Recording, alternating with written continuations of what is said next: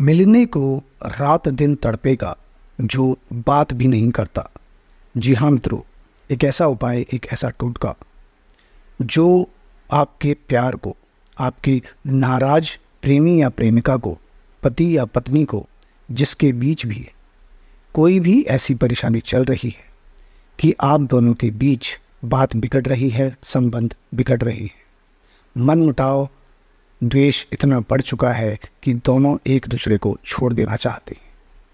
जहाँ पर भी कोई एक ऐसा है जो उस प्यार को अपने वापस पाना चाहता है। कैसी भी नाराज़गी हो, छोटी, बड़ी, किसी भी हद तक पहुँच चुकी हो, इस छोटे से उपाय को कर लेना मित्रों, वो व्यक्ति जिसके लिए भी आप ये उपाय कर रहे हैं। रात दिन तड़पेगा आपके लिए और वापस आएगा आपके पास। बस उपाय को बताए हुए तरीके से आप एक बार कर लें। इतना शक्तिशाली उपाय है कि मात्र चार से पाँच घंटे में ही अपना असर शुरू कर देता है और सामने वाले व्यक्ति को आपके पास वापस ले आता है।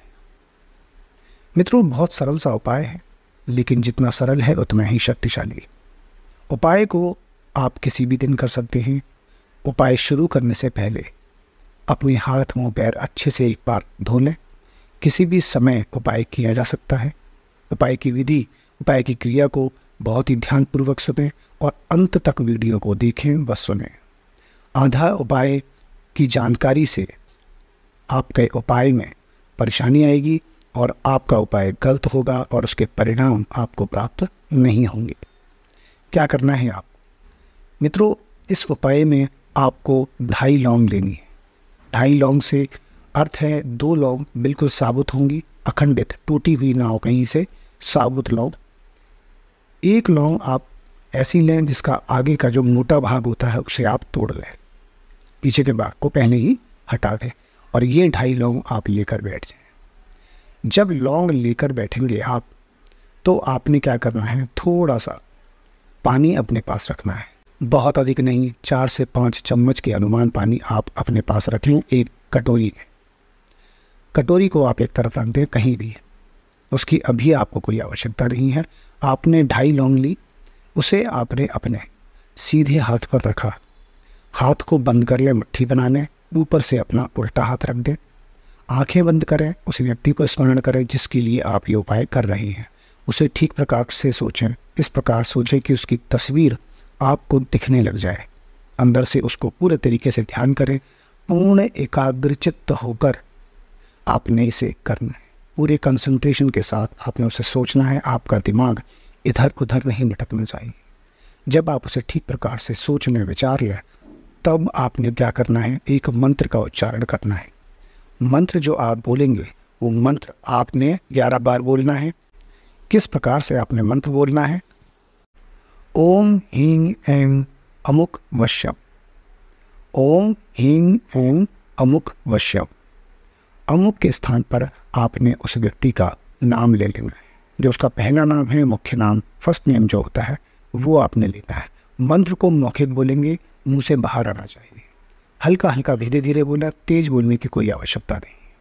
बस मंत्र को ठीक प्रकार से उच्चारित करें। उपाय को एकांत में करना है। ध्यान रहे, कोई भी विघ्न डालने के लिए आसपास ना हो। किसी व्यक्ति को इस बात की बिल्कुल जानकारी नहीं होनी चाहिए कि आप क्या कर रहे हैं। गुप्त रूप से ही आपने उपाय को करना है। मंत्र जब आप ग्यारह बार बोल लें, उसके बाद आपने क्या करना है? हाथ की मुट्ठी खोलनी है और उस स्थान से खड़े हो जाएँ। जो कटोरी आपने ली है, जिसमें पानी है, उसमें इन लौंगों को डाल दें। लौंग के लिए आपको खड़ा होना आवश्यक नहीं है, आप बैठे बैठे भी डाल सकते हैं। आपने कटोरी उठाई, एक स्थान पर रख दें। बहुत अधिक नहीं, ग्यारह मिनट आपने एक स्थान पर रखना है। उससे कम नहीं होना चाहिए, अधिक हो जाए, कोई बात नहीं। आपने उसके बाद ये कटोरी उस स्थान से उठा लेनी है। इस कटोरी को घर से बाहर लेकर जाएँ या घर की छत पर चले जाएँ। अगर घर से बाहर जा रही हैं तो पाँच कदम से अधिक दूर निकलें और अगर छत के ऊपर जा रही हैं तो आप किसी भी तरफ़ इसको पानी समेत गिरा दें। ये लौंगें आपने पानी समेत गिरा दी और नीचे वापस अपने घर के भीतर आ गई, बाहर गए हैं तो भी। और इसके बाद आपने ये पात्र ये कटोरी ठीक प्रकार से धो लेनी है, ताकि आप सिर्फ़ दोबारा इस्तेमाल में ले सकें।